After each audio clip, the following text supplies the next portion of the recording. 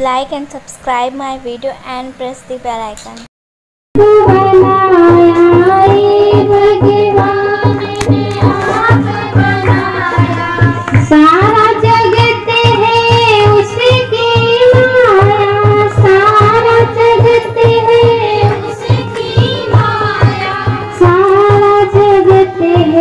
उसकी माया